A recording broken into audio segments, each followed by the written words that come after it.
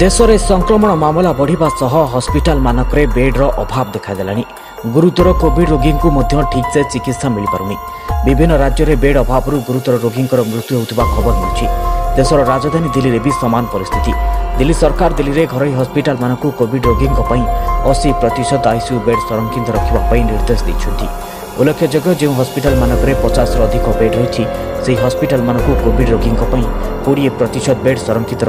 दिल्ली सरकार गत मे निर्देशले किन अधिकांश रोगी अत्यन्त गुरुतर अवस्था हस्पिटाल आसु बेड संरक्षित रे दिल्ली र कि हस्पिटाले सम्पूर्ण भावे कोविड रोगी चिकित्सा अन्य कि हस्पिटाल चाहिँ प्रतिशत बेड कोविड रोगी